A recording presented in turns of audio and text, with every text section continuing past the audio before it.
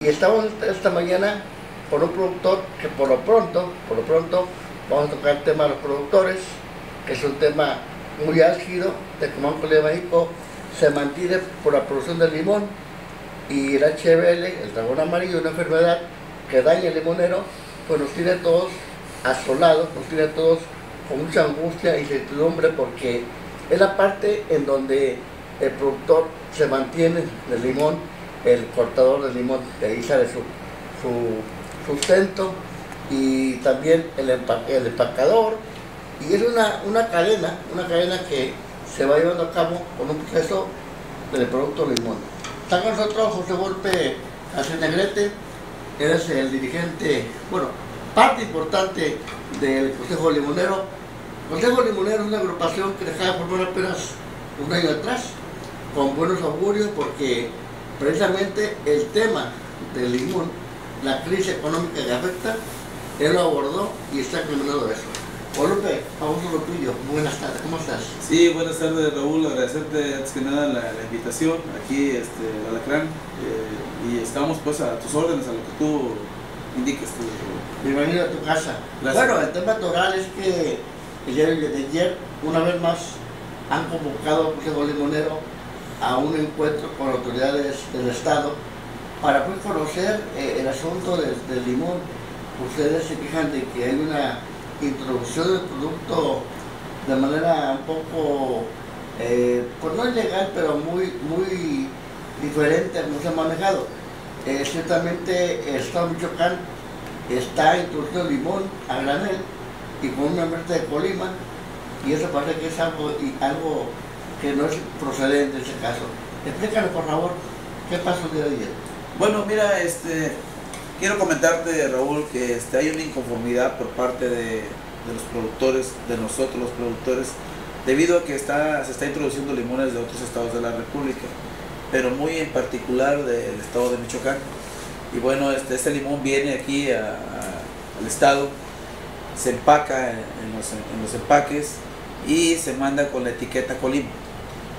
Acción que como productores no estamos de acuerdo, hay una inconformidad ¿Por qué? Porque el limón de Colima tiene una mayor durabilidad en el anaquel, tiene una mejor consistencia y bueno, es el mejor limón del mundo, el limón de Colima.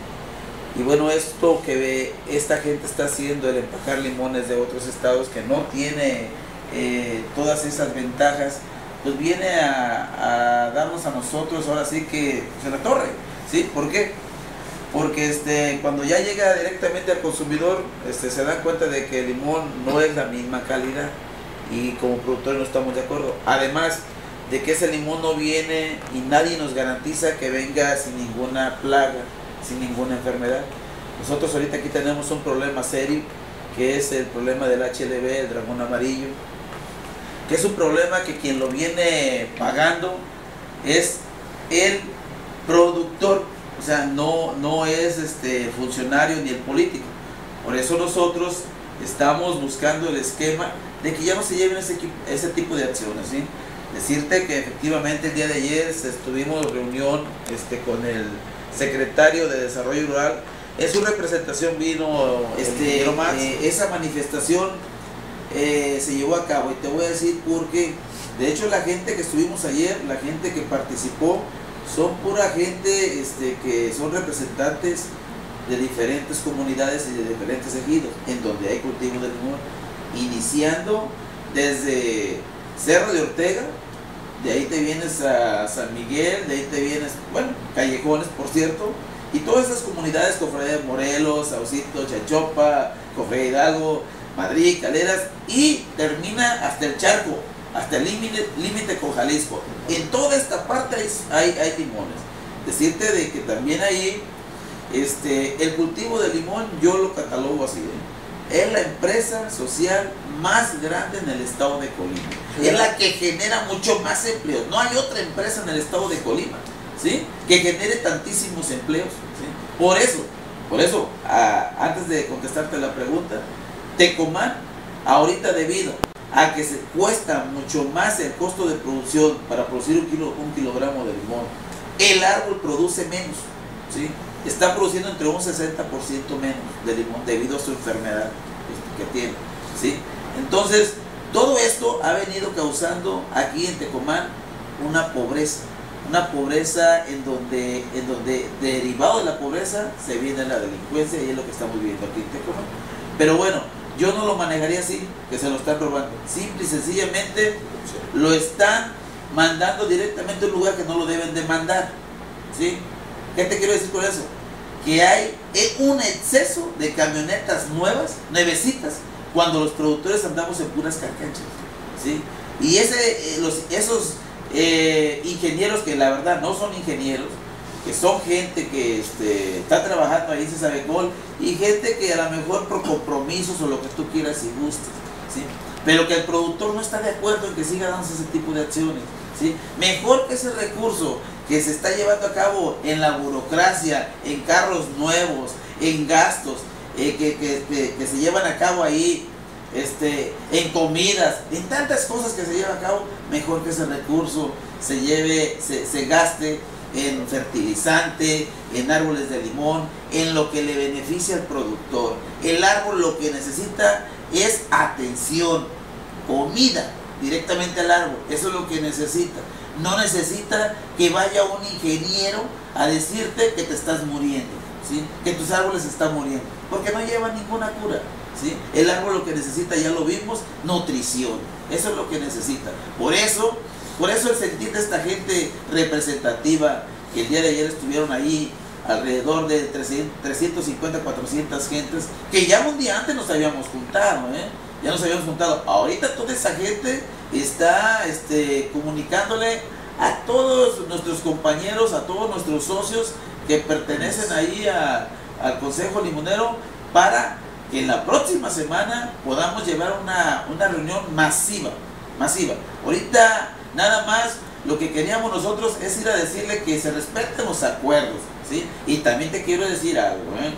Hay buena disposición, hay buena disposición por parte de Carlos, de Carlos Salazar, se ha puesto la camisa con nosotros, ¿sí? Como también este, veo yo que el gobierno del Estado se tiene que también poner la camisa. Y te voy a decir por qué.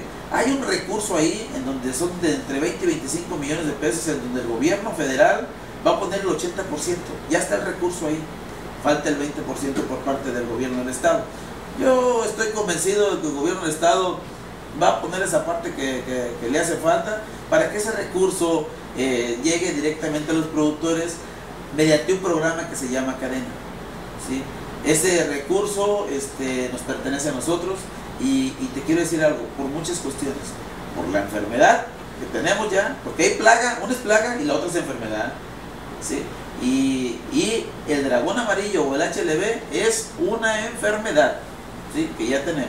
¿sí? Entonces, este, hay varias cuestiones ahí que este, estoy convencido de que ese recurso va a llegar y va a llegar porque, porque también hay otra justificación. Recientemente hubo unas aguas que acaban de caer, que cayó muchísima agua y que eso afectó, afectó muchísimo a lo que viene siendo el brote.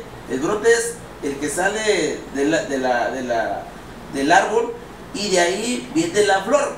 Y de la flor este, viene lo que es el cerillito, le llamamos nosotros. Ya el que tenía aceituna o caniquita, como le llamamos nosotros, ese ya no le pasa nada con esa, con esa agua helada que cayó y exceso de humedad. ¿sí? Y esas condiciones de, del programa cadena se tienen que dar a cabo cuando suceden ese tipo de situaciones o cuando sucede también sequía, exceso de sequía o exceso de humedad. Así de, sencillo está. Así lo dio a conocer también Carlos Salazar. Carlos Salazar está puestísimo con nosotros. ¿Por qué está puestísimo? Porque tiene instrucciones de Enrique Martínez y Martínez, quien es el secretario de Agricultura a nivel nacional y que está con nosotros y que también este, en repetidas ocasiones nos ha invitado, ¿sí? Nos ha invitado a estar ahí personalmente en su oficina y tú sabes, Raúl, que para ver un secretario de Estado no es fácil, ¿eh?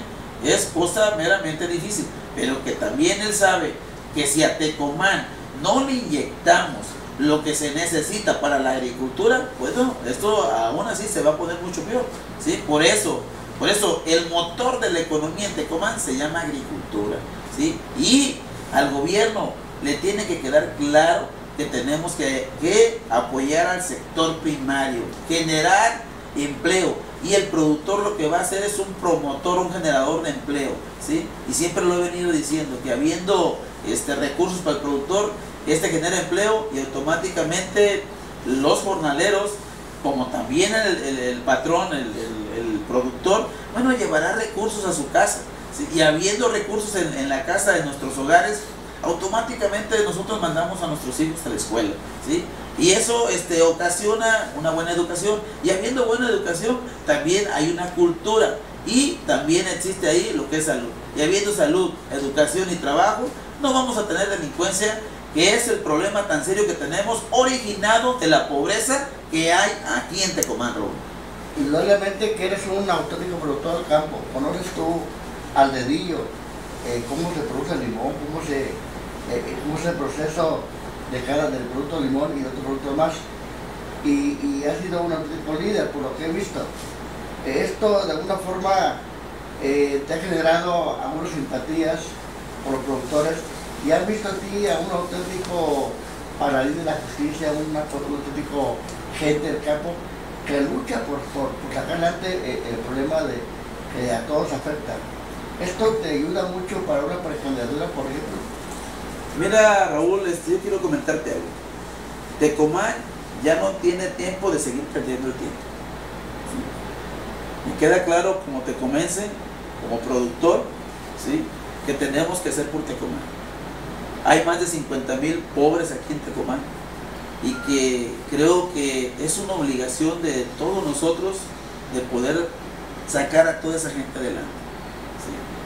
Este, tenemos que echar a andar el motor de la economía que se llama agricultura y en particular cultivo de limones. Por eso hemos estado trabajando y dándole respuesta a la gente. Y te lo digo así porque los hechos están a la vista. Llegaron mucho fertilizante para nuestros amigos productores, mucha planta. Si bien es cierto, no en su totalidad, pero sí hemos estado trabajando de tal manera que sin tener ningún cargo público, gestionando, yendo a donde tengamos que ir, pero sí trayéndonos los recursos necesarios para nuestros compañeros productores y por consiguiente beneficiándose la gente trabajadora del campo.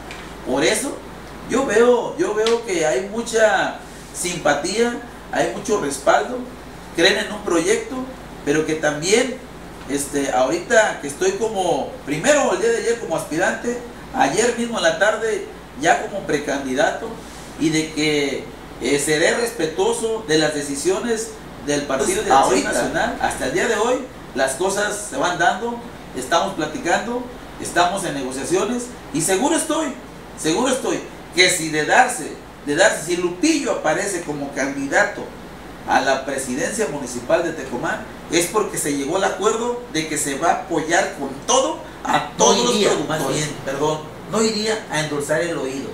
Yo soy gente de trabajo, fui presidente de Ejido Tecomán dos ocasiones, ¿sí? en donde este, la verdad gente mayor, un ejido bien conformado y que yo creo que hubo buen trabajo porque me volvieron a reelegir. Estuve por segunda ocasión, fui este, líder de la CNC acercamiento con los productores, fui regidor del ayuntamiento e hicimos un buen trabajo ahí y también he sido delegado del módulo Tecuanillo en donde hay más de 500 usuarios y, siempre buscando el compañerismo, siempre dándole respuesta a la gente y trabajando, pero trabajando por el bien de Tecuanillo. Él Golpe Negrete, Negrete, Lupillo, como lo conocemos aquí en Tecomán, es productor, consejo limonero y también ahorita es precandidato a la presidencia municipal por Tecomán, avalado por Acción Nacional. Muchas gracias, Lupillo. Gracias por la entrevista. Muchas gracias a ti, Raúl, y cuantas veces nos invites, estaremos por aquí. La verdad te felicito, eres un exitoso periodista y estamos a tus órdenes. Camila 96, la clase de compromiso. Muchas gracias a, Gabriel Alejandra y a Néstor Raúl en los videos y la, en, la, en la, y también en la cabina a Juan Pablo Ávila Martínez. Compromiso, muchas gracias.